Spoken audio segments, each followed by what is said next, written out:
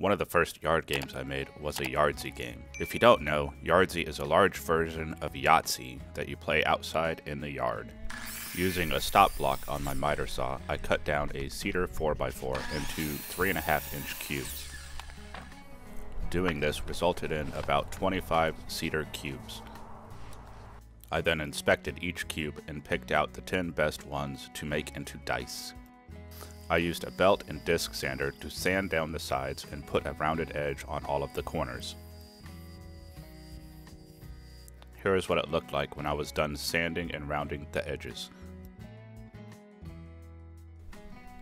I marked the dots with a sharp tool by poking a hole in the center of each of the circles.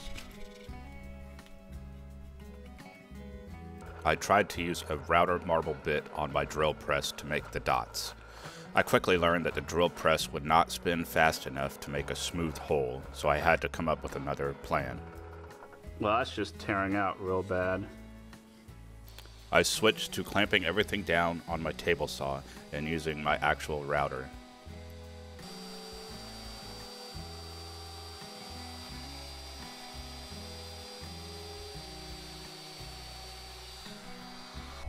This resulted in a really smooth dot for the dice.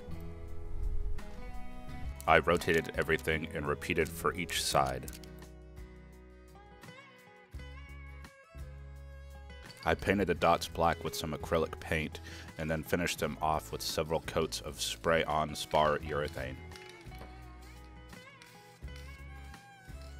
I printed and laminated a scorecard and put it on a clipboard with a dry erase marker. Everything then went into a 5 gallon bucket. Thanks for watching.